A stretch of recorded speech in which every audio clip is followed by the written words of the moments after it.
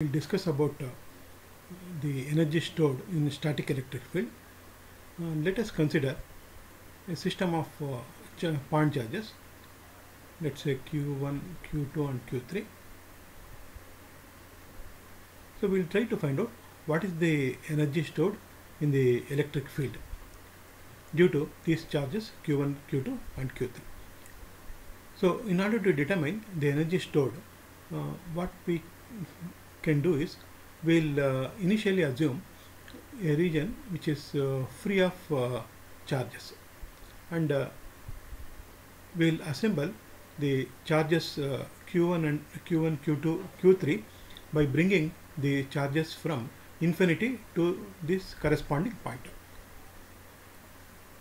So this point is 1 2 and 3 so we'll uh, bring the charge q1 from infinity to point 0.1 and then similarly we will bring the charge q2 from infinity to point 0.2 and uh, q3 from again from infinity to point 0.3 so the energy stored in the electric field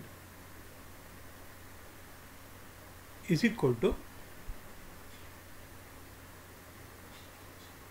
is equal to the work done in assembling the charges.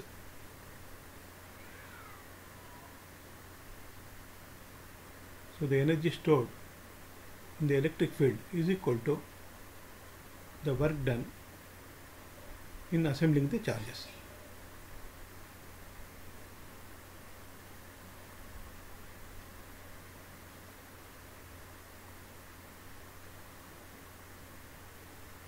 So in order to find out the energy stored, what we can do is we will find out what is the work done in assembling the charges Q1, Q2, Q3 at 1, 2, 3. So the work done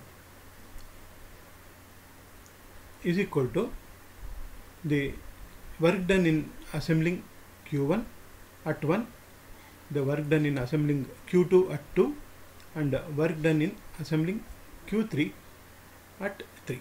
Okay.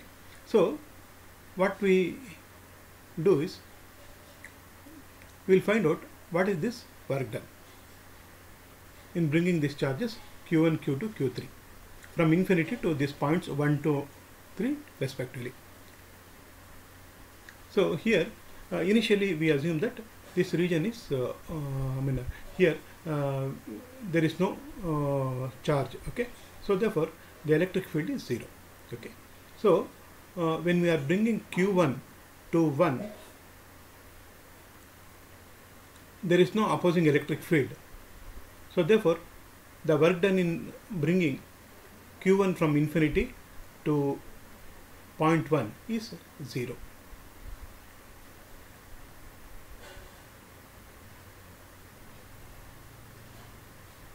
so the reason is that there is no opposing electric field in uh, while bringing q1 from infinity to point 0.1.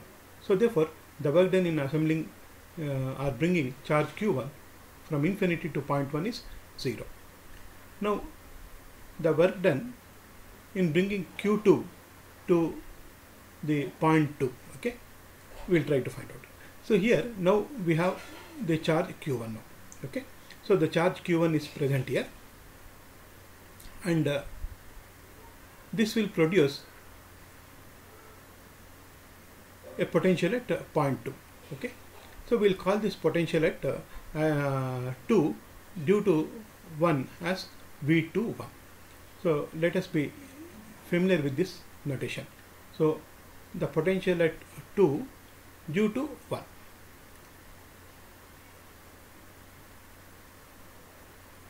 potential at 2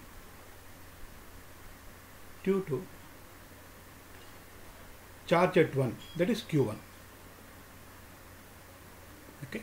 So what is the meaning by the meaning of uh, by the definition of potential? It is the work done in bringing a unit positive charge from infinity to point 2 okay.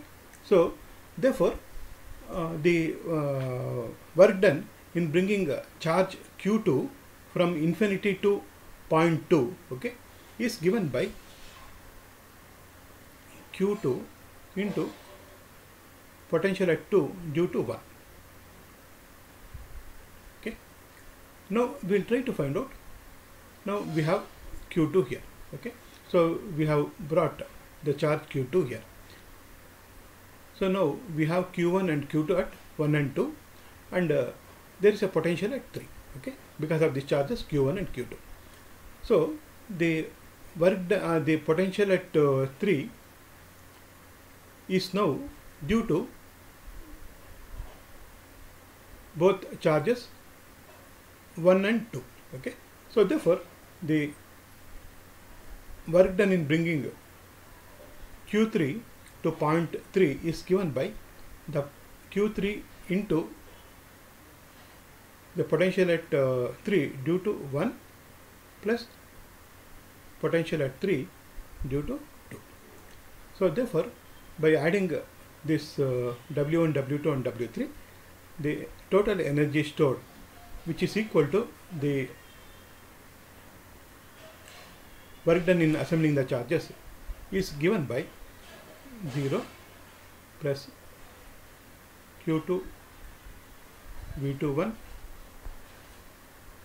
Q3 V31 plus V32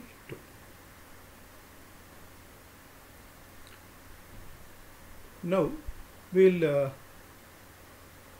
bring the charges in the reverse order okay? Again let's assume that uh, this region is uh, free of charges okay? So we'll bring q1 q2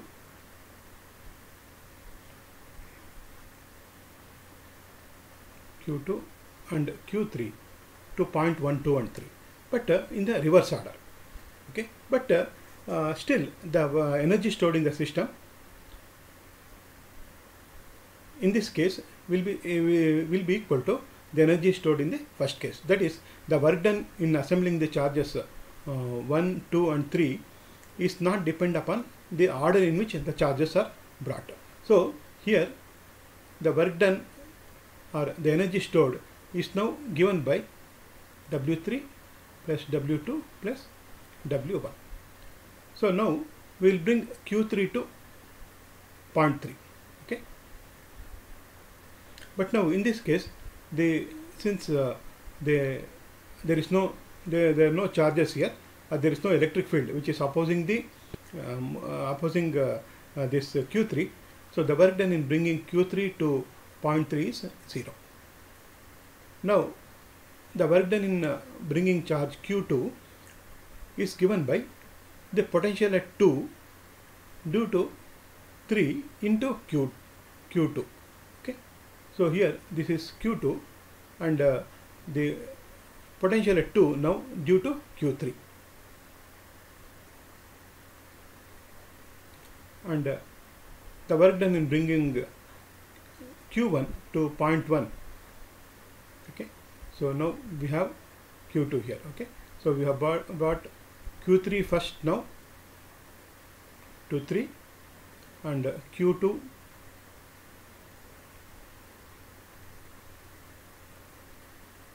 and then now we are bringing Q1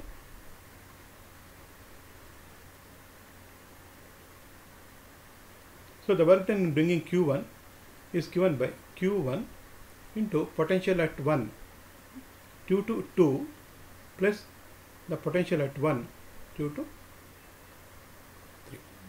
So the total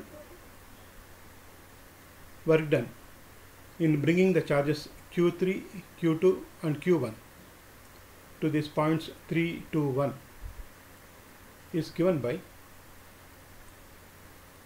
0 plus Q2 V23 plus Q1 V12 plus V13. So let's call this expression as 2. So now we'll add uh, the expressions 1 and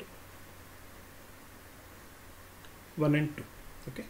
So uh, this is our 1 and here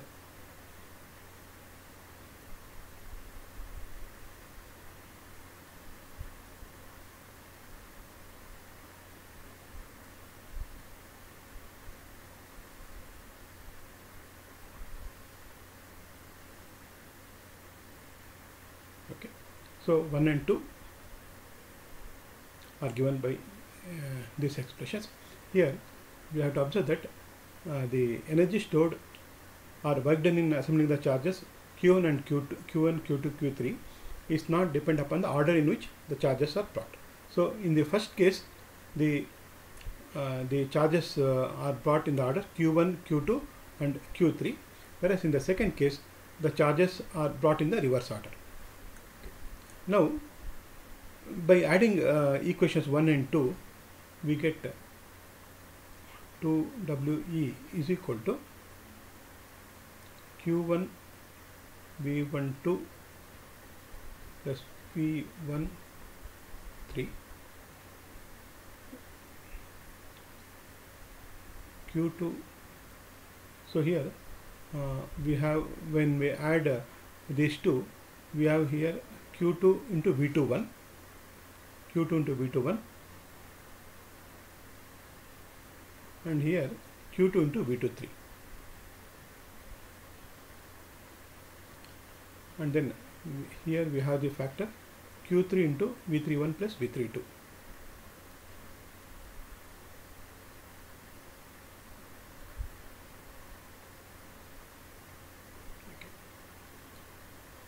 So this can be written as the potential at.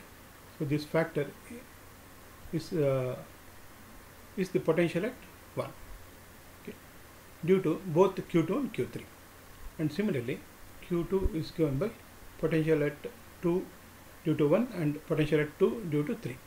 So this can be written as the potential at 2 and here uh, this is the potential at 3 V3 into V3 or WE is equal to 1 by 2 into Q1 V1 Q2 V2 Q3 V3 so the energy stored in uh, in an electric field is given by is equal to the work done in assembling the charges and uh, this is given by this expression. So this is for assembling three charges.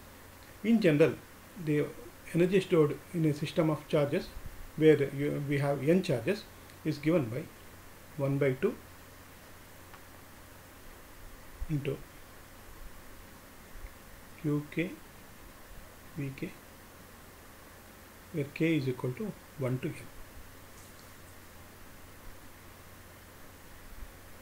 And this can be extended for a continuous charge distribution. So let us say we have a continuous charge distribution where the charge distribution is given by rho v. So in case of continuous charge distribution, we can consider a differential volume element as we have done in the previous cases and uh, the charge here is given by in the volume element uh, dv is given by rho v into dv. And uh, here uh, the energy stored in this case can be written as 1 by 2 instead of summation. Now it will be integration of uh, so here it is dq into v